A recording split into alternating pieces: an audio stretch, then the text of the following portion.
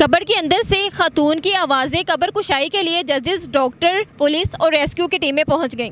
नाजिन जैसे कि कब्र से आवाज़ आ रही है वाइब्रेशन की और यहाँ पे काफ़ी टीमें भी आई हुई हैं कब्र कुशाई करने लगे हैं। अभी पता चल जाएगा कि क्या वाकई ही इसमें मौजूद दो खातून हैं मरहुमा वो ज़िंदा हैं या नहीं। जैसे ही कब्र कुशाई होगी तो हम आपको इसके असल मनाजिर दिखाएँगे कि असल में वाक़ क्या है। बताइएगा आपने हाथ लगाया है इस कब्र पर आपको आवाज़ आई है?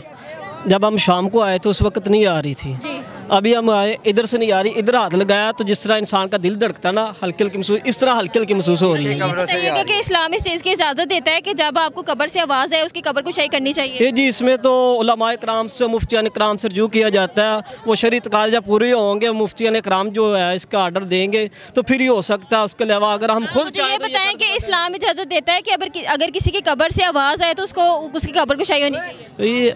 मैंने आपको बोला है कि इसमें बहुत सारी वजूहत होती हैं कराम जो है इसकी मुकम्मल तस्दीक करते हैं। वो शरी तकाजे को पूरा करते हैं मुफ्ती ने इसका फतवा जारी करते हैं। उसके बाद ये अमल होता है और उसके बाद ये कानूनी कार्रवाई में चला जाता है। फिर अदालत जो है वो इसका आपको नहीं लगता जब तक ये सारा मामला था होगा अगर आवाज़ें आने बंद होगी अगर वो इंसान ज़िंदा है जो इसके अंदर मौजूद है वो मर जाता है तो फिर? ये तो देखे ना अल्लाह की कुदरत का निज़ाम है। वल्ला आलम के कब्र के अंदर हम तो उतनी देर तक बात कर सकते जब हम ज़मीन के ऊपर हैं। जब हम नीचे चले जाएँगे कब्र में चले जाएँगे फिर उसके बाद अल्लाह और उसके कुदरत का निज़ाम है। उसमें हमारी जो क्यास ये रही है समझ सकते सकते कि ये जितने लोग हैं सब कह रहे हैं आवाज़ें आ रही कोई कह रहा नहीं आ रही। आपको क्या लगता है ये हमारे ईमान की कमज़ोरी है? जी इसमें ये है कुछ लोग अब आप कह रहे हैं कि इसमें आवाज़ आ रही है कुछ कह रहे नहीं आ रही।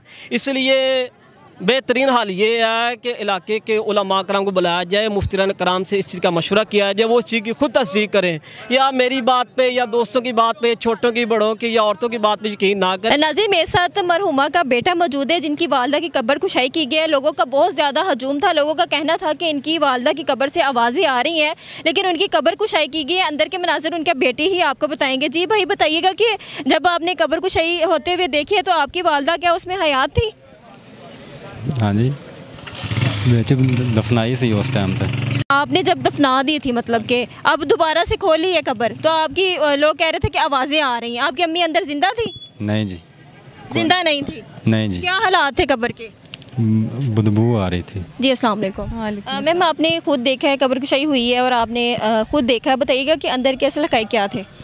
पेशेंट की डेथ जो है फ्राइडे की हुई है और जब कब्र कुशाई की गई है तो कोई साइन ऑफ़ लाइफ नहीं थे। पल्सलेस थी फीमेल पुट्रिफिकेशन डिकम्पोजिशन जो नेचुरल प्रोसेस है वो स्टार्ट हो चुका हुआ था। तो इसलिए शायद कोई मिसअंडरस्टैंडिंग हुई है अदरवाइज़ कब्र कुशाई में कोई साइन ऑफ़ लाइफ नहीं थे। जी सर आप बताइएगा कि आपने भी कब्र कुशाई होते हुए देखा है और बाकायदा आपने देखा है कि अंदर जो मौजूद थी फ़ीमेल उनकी क्या कंडीशन थी?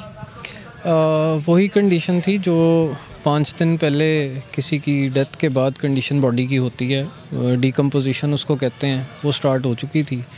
और कोई साइन ऑफ़ लाइफ नहीं था, सिर्फ़ एक अफवाह की बेस पे अवाम ने सारा वो जो भी किया तो ऐसा कोई उसमें मैसेज कन्वे करना चाहते हैं उन लोगों को, क्योंकि ये मामला बहुत ज़्यादा हुआ हुआ है। बहुत जो लोग हैं मीडिया में बता रहे होते हैं कि कबर से आवाज़ आ रही हो, ये कोई पहली खबर नहीं है। और भी बहुत से वाक़ात ऐसे हैं, उन्हें कोई मैसेज देना चाहते हैं? मेरा ख्याल है सबने देखा है यहाँ पे और मैसेज बड़ा क्लियर है कि फालतू की अफवाहें जो हैं वो ना फैलानी चाहिए और ना उन पे यकीन करना चाहिए। और अब एक पूरा हमने कानूनी प्रोसीजर के थ्रू कब्र कुशाई के बाद ये ये सब किया और ये देखा है कि ऐसा कुछ भी नहीं था। और जब कोई डॉक्टर डेथ डिक्लेयर करता है तो वो काफ़ी सारी चीज़ें देख के करता है। उसके बाद जब लोग अफवाहें फैलाते हैं, उन पर यकीन इस तरह नहीं करना चाहिए।